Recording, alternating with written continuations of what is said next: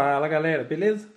Então nesse vídeo eu vou estar falando a respeito da, da engrenagem do velocímetro da Titan 150. No caso, a engrenagem que vai na roda.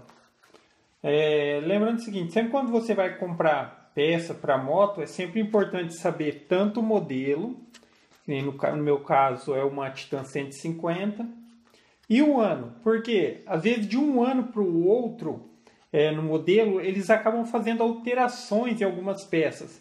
Então não basta você chegar lá e falar, ah, eu quero a engrenagem do velocímetro Titan 150 sem saber o ano. Ele pode te dar uma, você vai colocar lá e não vai dar certo. Ou vai tentar pelo menos, né, mas não vai dar certo.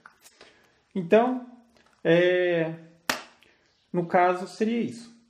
Mas então aqui, no caso a marca dessa daqui que eu comprei é essa daqui.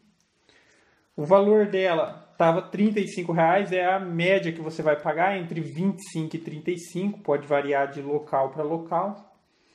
É, e também, é, antes, se você quiser verificar se realmente o problema é esse mesmo, a engrenagem, se deu problema em outra coisa, é só acessar o canal lá e colocar é, velocímetro da moto parou. Lá eu estou explicando como que você pode chegar a uma conclusão de aonde está o problema no velocímetro. Então, voltando aqui, como já disse, eu paguei 35 reais. E esse daqui não é original. Às vezes pode até parecer estranho, mas que nem no caso essa daqui é de ferro. Vocês podem ver é de ferro. Tem um anelzinho aqui, tem a partezinha que vai no cabo e a partezinha que vai na roda. Ela é de ferro e não é original. É, no caso, a original dela, da Titan 150, é de plástico. Porém, também existe a paralela de plástico, que é bem baratinha, custa entre 10 e 15 reais você encontra. Mas se for comprar de plástico, eu recomendo que compre a original. Agora já essa daqui que é um pouquinho mais caro, um pouquinho mais caro assim com, com em, compara, em comparação com a paralela de plástico, porque a original é esse mesmo valor.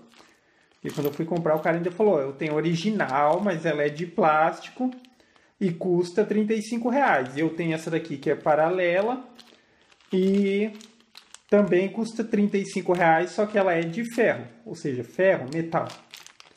E no caso a mão de obra deles, é, eles cobram de 10 a 15 reais para fazer essa troca. Então no outro vídeo eu vou estar tá mostrando como faz a troca então, se você tiver, se é do tipo que gosta de fazer as coisas, então eu acredito não tem muita dificuldade. Se você tiver as ferramentas, você consegue fazer essa substituição e acaba economizando dinheiro. Então, nesse vídeo era só para falar a respeito disso, então. Então, em breve eu estarei postando o vídeo fazendo essa troca. E se você não sabe aonde está o problema do seu velocímetro antes de adquirir a engrenagem, assiste o outro vídeo que está velocímetro da moto parou. Daí eu estou dando algumas dicas de como você procura onde está o problema antes de tentar é, dar uma solução. Então é isso aí, galera. Gostou do vídeo? Dá um joinha, se inscreve no canal que em breve eu vou estar postando mais vídeos do tipo. Falou?